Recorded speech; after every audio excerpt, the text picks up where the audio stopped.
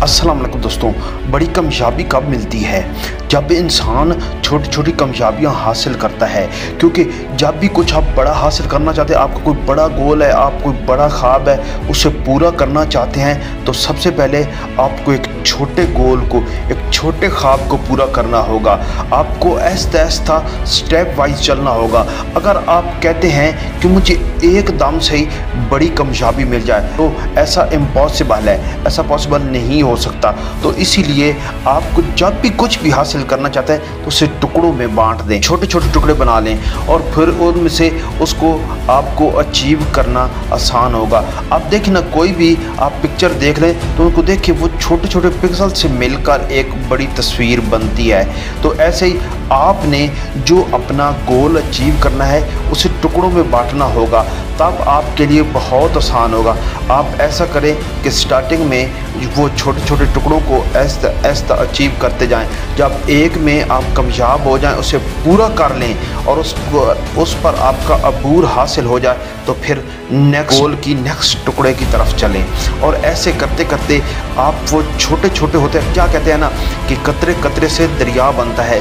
तो ऐसे ही इन छोटे टुकड़ों से आपको एक बड़ी कामयाबी मिलेगी। आपका एक बड़ा गोल जो है ना वो इन छोटे छोटे गोल से मिलकर एक बहुत बड़ा गोल बन जाएगा, जिसे आप अचीव करना चाहते हैं और वो बहुत ही आसान हो जाएगा।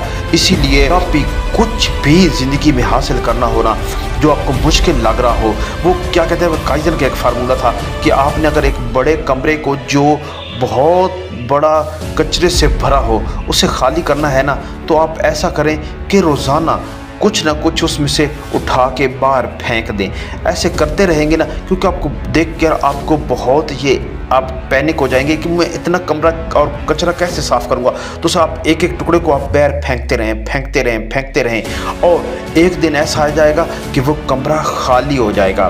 तो ऐसे ही होता है। अब जब भी कोई काम करना चाहते हैं ना तो आप एकदम से नहीं कर पा रहे तो आपको ऐसा ऐसा थोड़ा थोड़ा करते रहे, उसमें ब्रेक लेते रहें और फिर करते रहें। इन आप ज़रूर कामयाब होंगे, क्योंकि ऐसा करने से आप में थोड़ा कॉन्फिडेंस भी आएगा और आप लगातार करेंगे तो आप उससे कभी नहीं कर पाएँगे। तो इसीलिए जब भी कुछ करना चाहो तो उसे टुकड़ों में बांट दो और गोल में बाँध दो। आपको daily weekly monthly yearly goal बनाने होंगे। इससे आप आसानी से अचीव कर पाएँगे। अगर आपको मेरी ये वीडियो अच्छी लगी तो मेरे चैनल को अभी सब्सक्राइब